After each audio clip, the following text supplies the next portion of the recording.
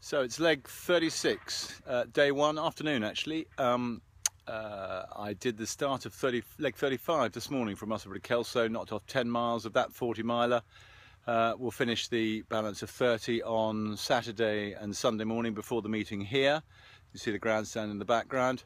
Uh, and I'm now starting this leg from Kelso to Hexham uh, for their meeting on Friday. I do about 10 miles this afternoon, which will leave me about 55 or so to do over the course of tomorrow, Thursday, and first thing on Friday morning. Uh, ahead, as I say, of their meeting on Friday with gorgeous weather, great big high pressure part right on top of this part of the world. Uh, I've got incredibly lucky again. It's walk on. I thought I was unlikely to be disappointed by the walk from Kelso to Hexham.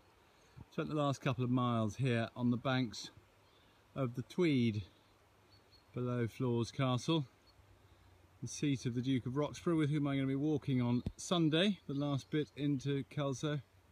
And it is completely gorgeous. You can already see the colours are just starting to go on the trees. It will be glorious here in a month's time. 36 day two of Kelso to Hexham. Uh, it's another glorious day in, in uh, Prospect. You can probably see in the background uh, the fog, which uh, has been quite thick actually early doors, uh, is just lifting, dissipating, burning off. Uh, I've got quite a day of climbing ahead of me over the Cheviots. Uh, and in about four hours time, about 11 miles time, I'm meeting uh, Adam Waugh, good mate, uh, who's going to walk with me this afternoon. So looking forward to that. Uh, but I suspect spectacular views the order of the day today. Quite a lot of climbing, quite a lot of hot and sweaty work. Uh, but we'll see how we go. Walk on. Leg 36, day two, Musselburgh to, no, not Musselburgh, Kelso to Hexham. Uh, yesterday was a shambles, in all honesty, as anyone who reads my Facebook blog will know. Just equipment, just useless. As Harriet Smiley famously said, fail to prepare, prepare to fail. Ran out of battery power in my sat nav, my battery pack didn't work properly. I was wearing the wrong shoes, I didn't take my poles. Everything that went wrong did go wrong. Result, I did 20 miles, not 27 or so, which is the plan. So today, slightly under the cosh, got uh, Adam Waugh with me today, uh, which is a great uh, pleasure. Uh, local native of these parts, keen uh, horseman, master of hounds, Jack Russell, owner of a number. We've actually only got one here today.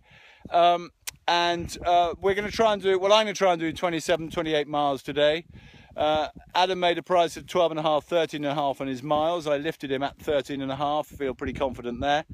Uh, terrain wise, it's going to be rather similar to yesterday. Paths, um, not particularly high quality on the Pennine Way. Just to give you some idea of where we are, we're on the edge of Kielder Forest, which for those who remember uh, back in the days, uh, the uh, RAC rally always used to start here with Colin McRae and Carlos Sainz and so on. But if you if I swing the camera around, you can see where we are. We're in the most glorious, absolutely amazing country on the edge of on the edge of the Cheviots. Uh, we're up at about 1,300 feet. Uh, the views are sensational. The weather is magnificent. Uh, you couldn't ask for more, really. We've done about six and a half miles so far.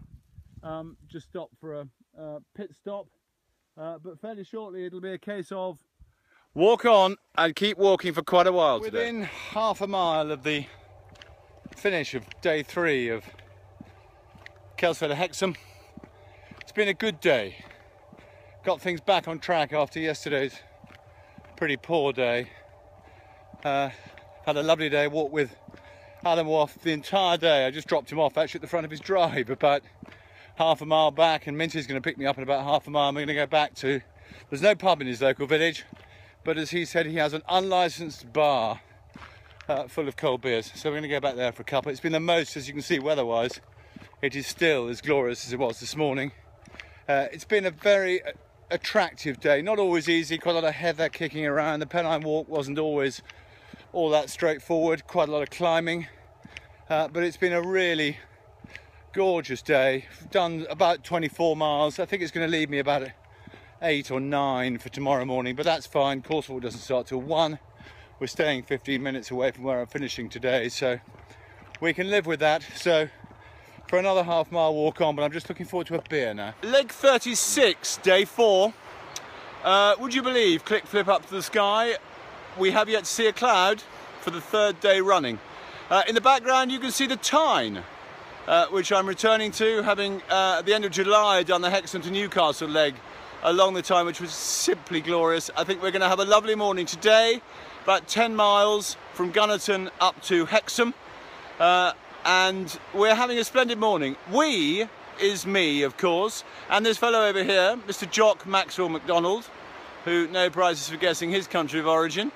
Uh, Jock I've been staying with and his splendid Mrs. Emma, who has fed me like a king, drunk me like a lord, and where I've slept like a log uh, for the last uh, uh, couple of nights. Um, Jock is, I've spent many, very happy days at Lords with Jock. Uh, a great, great sporting aficionado, but most particularly cricket. And our job this morning is to name the A and B finest international cricket sides since the mid 1970s. And we're currently having, we've agreed, I think, on 10 of the first 11. We're working currently on the uh, number six position. Do we go for another bowler? Do we go? Anyway, uh, it's giving us plenty to talk about as we walk on. Leg 36 from Kelso to Hexham is complete with a very fine posse of supporters. Uh, we've had Tom Scu out, uh, we've had uh, Aidan Coleman out, we've had Richie McLernon out. It's a gorgeous day. When I came here in July, I said to myself, I really hope when we come in October, it is a gorgeous day. And my God, it is a gorgeous day. Absolutely fantastic. Great crowd, some half decent racing, a lovely, lovely day out. Walk on.